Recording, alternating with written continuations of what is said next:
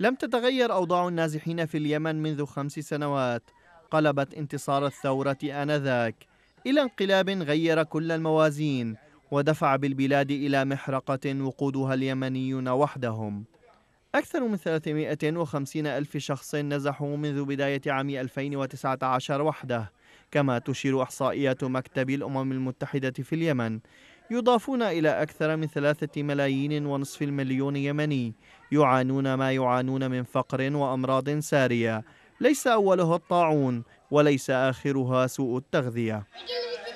86 أسرة آه، نازحين من تعز والحديدة وهم حالتهم يعني حالة مأساوية وبحاجة إلى يعني فراشات بحاجة إلى الغذاء والدواء و وهم يعانون أشد المعاناة يعني جراء الصراع في البلد. نازحون إلى محافظة إب في مخيم قحزة ولنا آه، خمس سنوات أربع سنوات ونص.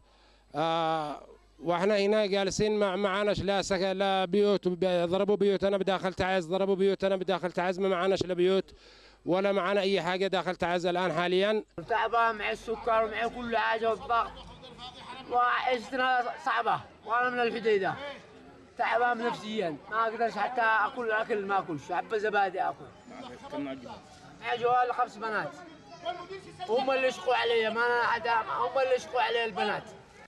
هذا الواقع القاسي من النزوح حرم هؤلاء الأطفال من التعليم حيث تقول منظمة اليونسف إن من بين سبعة ملايين طفل في سن الدراسة في اليمن هناك أكثر من مليوني طفل غير مدرجين في العملية التعليمية إما بسبب تدمير البنية التحتية أو جراء استخدام المدارس لإيواء النازحين المشردين.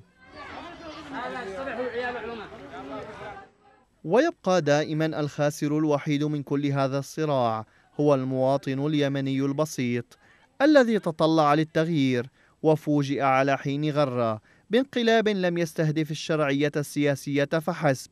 بل قوته وأقوات غيره من النازحين الموجودة في صوامع الحديدة التي جعلت ورقة ضغط لتغيير موازين الثقل السياسي لا أكثر.